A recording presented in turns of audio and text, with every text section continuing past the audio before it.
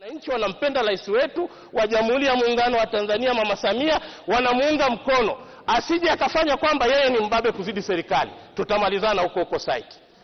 Mheshimiwa Waziri, naongea kwa uchungu mkubwa. Naona nchi ambapo hatupigi maendeleo, tunalia humu bungeni.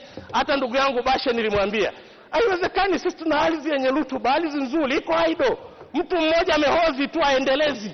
Njoni tufanye maamuzi. Nikamshauri Bashe, mwandikie barua. Leo tuna vijana wengi graduates hawana ajira, wanahangaika jimboni kwangu.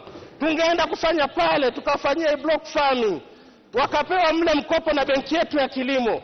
Nimeenda benki ya kilimo nikafanya mazungumzo, wakasema tunahitaji kufinance kwenye sekta ya ngano moja mia moja tuweze kufinance, lakini watapata wapi ardhi? Kuna mabe, mabepali wamehovi maardhi hawayaendelezi, vijana wetu wanalandalanda na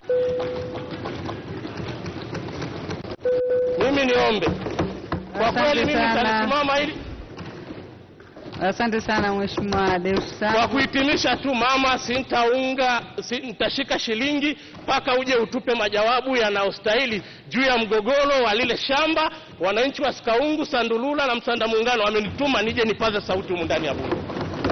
Asante sana Mheshimiwa uh, Deus Sangu. Tunaendelea na Mheshimiwa Kosato Chumi, Mheshimiwa